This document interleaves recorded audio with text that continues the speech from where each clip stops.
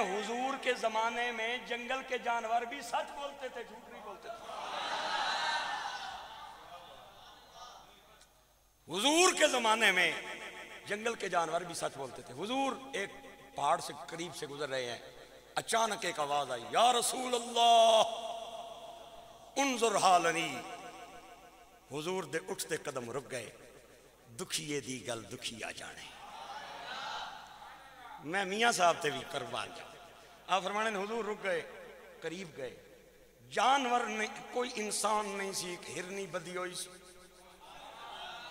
यहूदी दे जाल दे अंदर, और पई कहंदी सी, या नबी अल्लाह फलां गौर दे अंदर मेरे बच्चियाँ दा डेरा है मैं भी नाल रहनी आं और मैं इस जगह ते आके चारा खानी आं और मैनू दुध जदों आंदा है तो मैं अपने बच्चियाँ नू जाके पिलानी आं।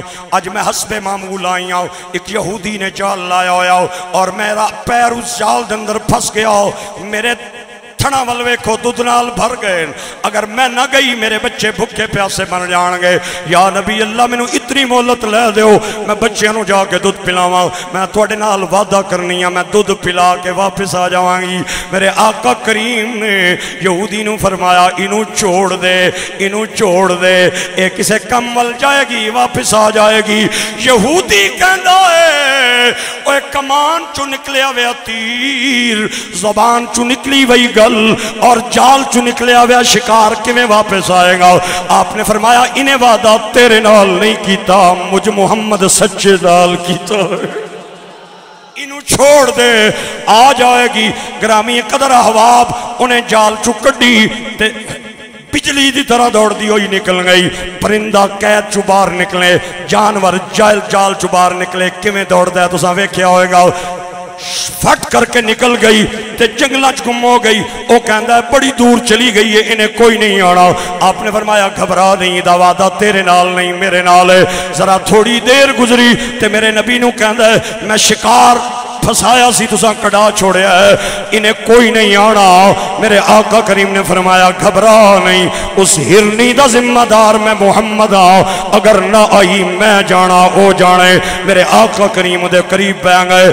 थोड़ी देर बाद वेख्या उन्हें दूर तू कर दो गुबार उड़ती नज़र आई, लहरांदी अटकेलियाँ कर दी मेरे आका करीम दी बारगाह च आई और सरकार दे उन्हें कदमां ते सर रखे आओ मेरे आका करीम दे पैर चुमे और जाल दे करीब जाके बह गई और बजुबाने हाल कहती है हुन मैनू डक लै।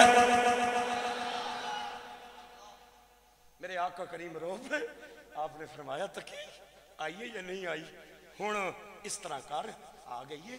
हुन इनू डक नहीं इनू आज़ाद कर दे। आखदा इनू ते आज़ाद करन लगा पर आपे जे कैद होने लगा। जुमला मैं बोल गया तुसी ही बैठे आना इसकी ते मैं छोड़न लगा तो आपू आप, आपने फरमाया तेरा मतलब क्या है?